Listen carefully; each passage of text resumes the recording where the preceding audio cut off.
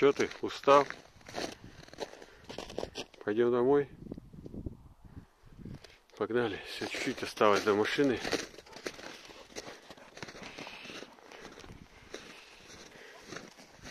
Макс идет. Хватит на сегодня. Ух.